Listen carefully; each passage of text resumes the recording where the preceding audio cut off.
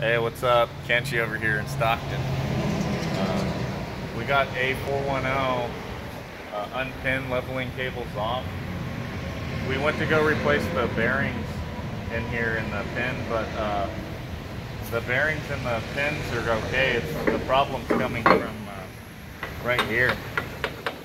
So I think it needs to be line bored. I just wanted to see if you guys wanted to line board that or run that motherfucker with all new pins and bearings. It's up to you.